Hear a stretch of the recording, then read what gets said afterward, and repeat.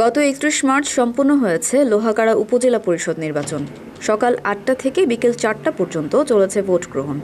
নির্বাচনে উপজেলা chairman, vice chairman ও মহিলা ভাইস চেয়ারম্যান পদে মোট এগারো জন প্রার্থী প্রতিদ্বন্দ্বিতা করেন। এদের মধ্যে স্বতন্ত্র প্রার্থী সাবেক উপজেলা চেয়ারম্যান জিয়াউল হক চৌধুরী বাবুল আনারস প্রতীক নিয়ে চৌত্রিশ হাজার তিনশো সাতাত্তর ভোট পেয়ে উপজেলা চেয়ারম্যান নির্বাচিত হয়েছেন। অপরদিকে টিউবওয়েল প্রতীক নিয়ে ইব্রাহিম কবির একুশ হাজার চারশো ভোট পেয়ে ভাইস চেয়ারম্যান এবং কলসি প্রতীক নিয়ে জেসমিন আক্তার তেত্রিশ হাজার তিনশো বারো ভোট পেয়ে মহিলা ভাইস চেয়ারম্যান নির্বাচিত হয়েছেন।